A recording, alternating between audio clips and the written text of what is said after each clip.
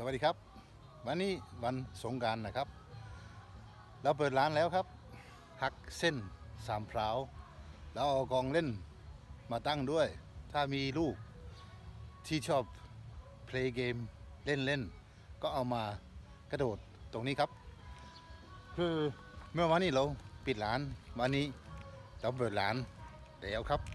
สงการต้องเข็นข้าวต้องอยู่ดีร้านพักเส้น ปิดแล้วครับสามพร้ามากินได้เลยเราเพิ่งเปิดร้านครับ เพลงฟังก็มีครับ เค้กเพียบเบียร์น้ำอาหารเนื้อบุฟเฟ่กิโลร้อยเจ็ดสิบเก้าบาทครับ เค้ก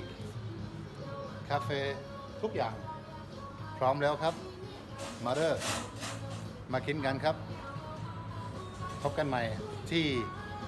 ร้านหักเส้นเค้กนมสดที่สำเพร้าวนะครับ